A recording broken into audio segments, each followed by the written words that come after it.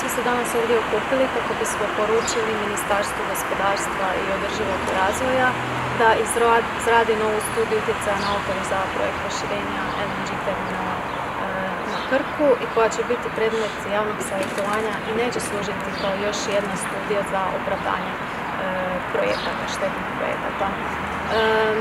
Mi smo e, i pitali zapravo ministarstvo i tvrtku LNG Hrvatska da li e, planiraju izraditi studiju, no odgovor nismo dobili, zapravo nam odbijaju dati informaciju, tako da mi ni ne znamo da li studija je u izradi, postoji ili ne postoji. E, bez obzira na to smatramo da je u javnom interesu da studija bude izrađena za ovako veliki zahvat u okoliš.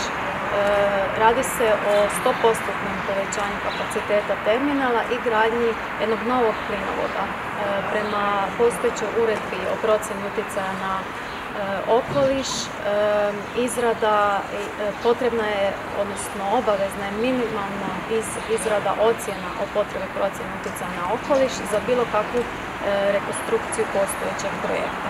Isto važi i za gradnju novog magistralnog plinovoda.